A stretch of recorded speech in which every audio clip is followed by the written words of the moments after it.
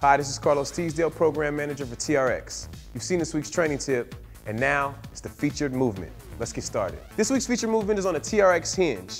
We learned in the training tip that you need to learn how to stabilize the core in a 360 degree manner. So what core need to do right before we do this movement is to think about flexing forward, flexing back, side bending, and side bending, and thinking about all those movements happening at the same time and really tightening that core. Good, got that? Okay, now we're gonna grab the TRX and get the handles directly next to the knees.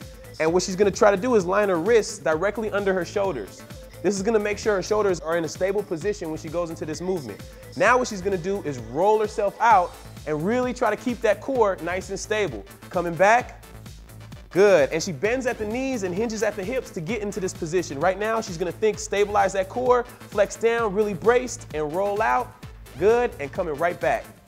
Nice. All right, now for an added challenge here, what we're gonna do is take that TRX and fully lengthen it.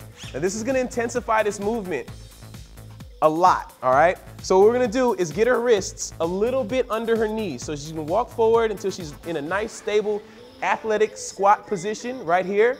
And she's gonna think brace the core, and she's also gonna think and maintain wrists under the shoulders, all right? So think brace core, really nice and tight, go out and come right back as soon as you find that plank, good. One more time, I'm gonna have her hold it out there for a second longer. Out, find that plank, extend through the hips, and drive back. Excellent job.